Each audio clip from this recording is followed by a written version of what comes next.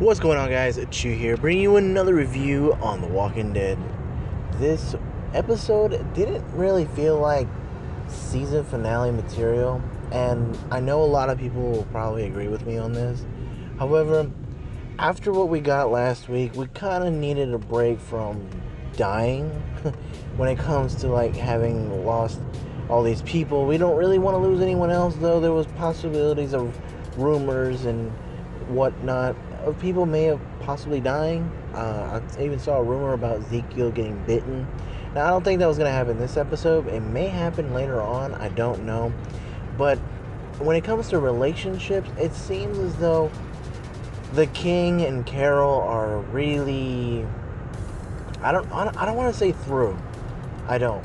And I was actually talking about this with my wife when we were watching it. Like, when you lose a child, not that we have one, but you know, when someone loses a child and you know, parents start looking at each other or looking at themselves, you know, do they really like in a situation like that, do you really get to blame anyone or yourself?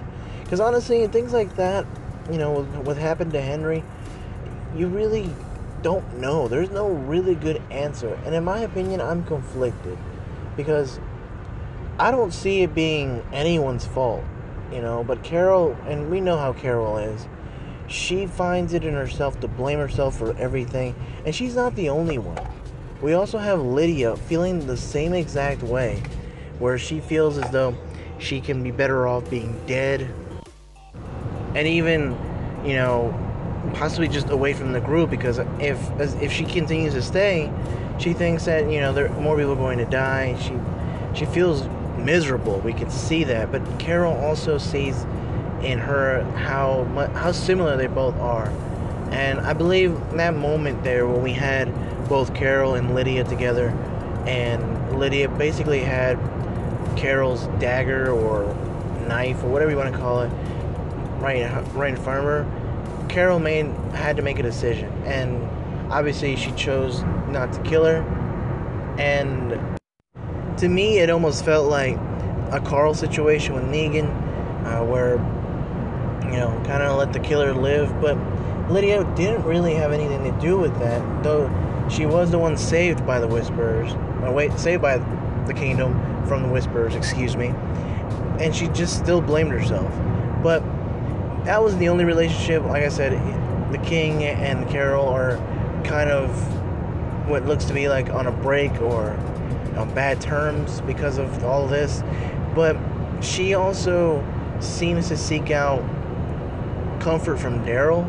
Not necessarily sexually, obviously, or any of that, but someone who really truly understands her as well. Uh, we had the king warning him, saying, basically saying, you know, come on, man, that's my girl, and you know that kind of causes an issue even for Daryl because Daryl has a big appreciation for for Carol uh, from a long time, and you guys know that Carol and Daryl have are go way back, you know, and they are they they truly understand everything that's going on and how difficult it is, and so I think it's only natural, though I understand Ezekiel's concern, but one thing I haven't mentioned either, and that's something I thought was kind of cool, was the snow. There was a lot of things that I wasn't a big fan of when it comes to the snow and that was like how the walkers that popped out of the ground like daisies were like kind of like at random popping out. Like they should have been there the whole time. Or why were why was the walkers on the ground like still able to move and not be frozen like the other ones that we saw? Like those those that were frozen over that made sense. Though it's just the ones that are in the ground i wasn't a big fan of. But things are starting to look bad. Things are a little stressful because they actually have to make the choice of deciding whether they should continue the, the way they were going or go through the Whispers borders and crossing there in order to get home. Uh, and we see that it was kind of a conflict there, especially for Carol and Ezekiel. They didn't really want to risk it. I did like how Michonne also kind of like stepped in saying, you know, look, the reason why all this happened is because we didn't know each other. And though I feel like Michonne may also kind of carry on part of the responsibility for what's happened. I feel like she's also trying to amend things and make things better, which I honestly really, really like. So they do end up actually going through the sanctuary and kind of holding off there for a little bit and going and then crossing over, which again was pretty dangerous. But then back at the Alexandria home, we see how everyone's kind of gathered, and oh my goodness, Negan and his jokes and commentary. I've missed Negan, and I've thought this before. I don't know if I've said it, but like Negan has so much to give to the series still, and I cannot wait to see him in full action in season 10. Like, he definitely is going to be doing some stuff. Uh, if he follows the comics, he's going to play a major role in what's going to be coming with the Whispers. So, I really do appreciate him kind of, I guess, literally to me, it's like the calm before the storm when it comes to Negan and his actions.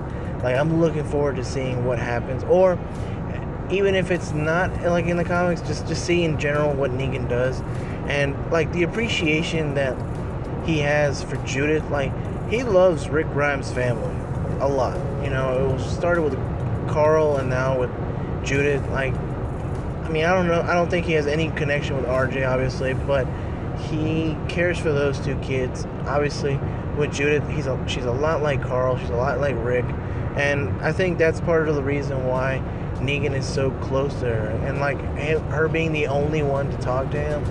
I mean that that says a lot. And like Negan's actions to go out of his way and saving her, like I thought that was awesome. I thought that was kind of cool how they had the that line where everyone was together and how it reminded me of the day after tomorrow. I thought that was kind of cool. But thankfully, everyone does get safe. You know, Negan actually gets an injury, but Michonne talks to him and actually thanks him. And we do see a little bit of the whispers in this episode. Uh, mostly Alpha and Beta, and Alpha, I guess, taking the whipping for whatever reason she feels necessary. She gets a whipping from Beta.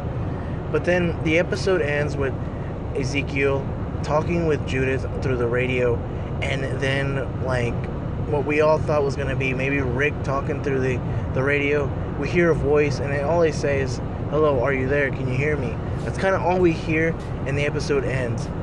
And to me, that's very frustrating because it's like it opens up a can of worms, and we don't know who it is, who the, that person was. And honestly, to me, I feel like this could lead into another video that I may make, but overall, it was a decent episode. But guys, let me know what you guys think in the comment section below. As always, stay safe, take care of yourselves and others, and I'll catch you later.